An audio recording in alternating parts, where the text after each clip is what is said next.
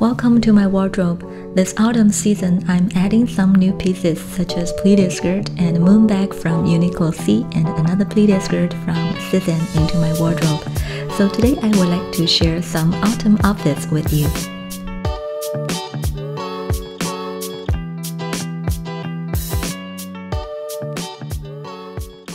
A little bit introduction about myself. My height is 5'3". I usually buy petite sizes. My weight is 117 pounds. I'm 9 months postpartum, so I have a wide waist now. The first outfit today I picked some trendy color this year which are various shades of brown hues. This pleated skirt from Uniqlo C is color blocked by brown and gold. It's full of an autumn vibe itself. I was obsessed with the sheen it shows. Though the price is very budget friendly, but the quality of the look is definitely beyond the price itself. I matched it with a dark navy cashmere top from Everlane. I want to find something oversized, but this top is in size extra small, so you can tell it shows my waist. If I have more choices from my own wardrobe, I would swap this top with an oversized sweater. This gray color sweater is from Sezane a few years ago. To complete the outfit, I matched it with a similar gray color beret and a Polene bag. This gray sweater is chunky, fluffy. It takes the outfit to the late autumn or early winter vibe. The entire look is very cozy for a sunny winter afternoon. I was really impressed by the glow reflected from the pleated skirt. I hope you can see it from the camera too.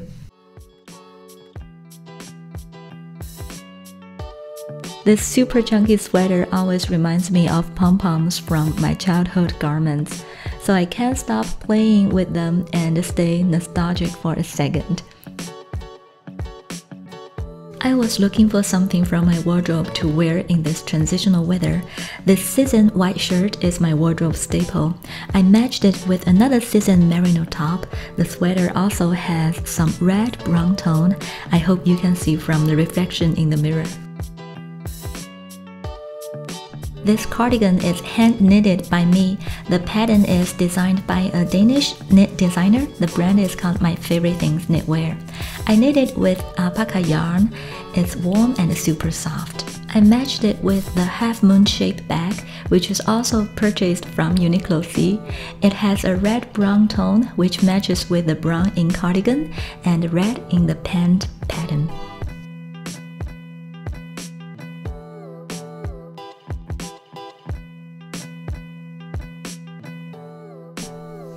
This next look is hand-knitted sweater top with pleated skirt from Sezane in bottle green.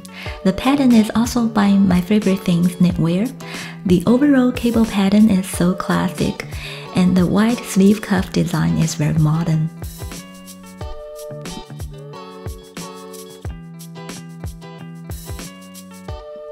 This daily look is also very autumn. The flowy trench coat is from Sezane years ago. I'm very happy with my purchase from Uniqlo, like this bag.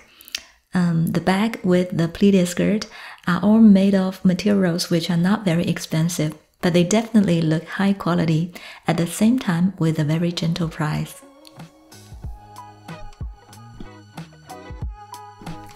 The trench coat is flowy but not wrinkle resistant, so you can tell it's a little old, but I do like the color combination of the camel and red brown.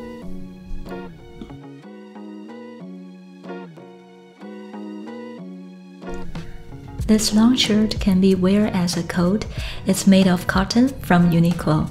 I paired it with a legging from Muji and a pant from a Japanese brand SOUSOU.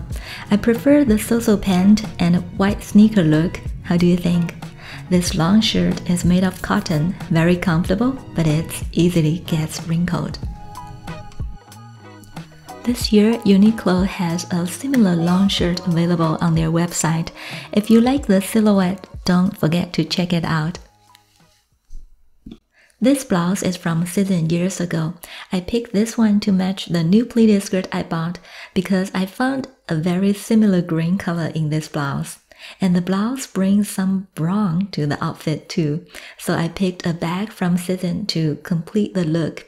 The bag used to be camel, but after years of using it, the leather become darker. I like the worn marks, it makes the bag very unique. The maxi length perfectly creates a taller look, and the wide waistband design hide my postpartum waist better than the narrow ones.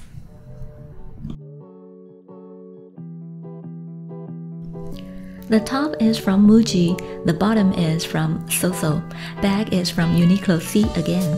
The hat is a hand knitted piece by me. The pattern is also by my favorite things knitwear. The slim look top matches really nice with a super wide leg pants. The only two things I hope can be changed is the waist design of the pants, which is visible elastic pant, um, elastic waist. The length of the pants is a little too short.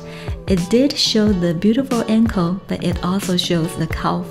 I have wide calf, so I hope the pants could be a little longer.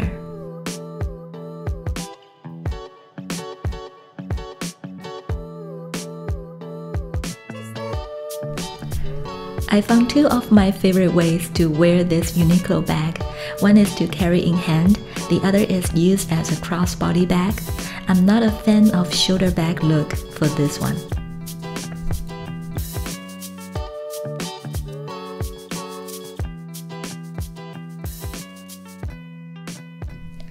This top in coffee and has a little stretchy is a staple piece. You'll see me create layers with this one a lot like this outfit. I'm adding some layers by wearing a white shirt out of that. I tied the shirt to make a taller look, but I hope the shirt could be more oversized. This shirt is not a slim one, but also not an oversized one. It will be an item I'll consider to invest for my wardrobe.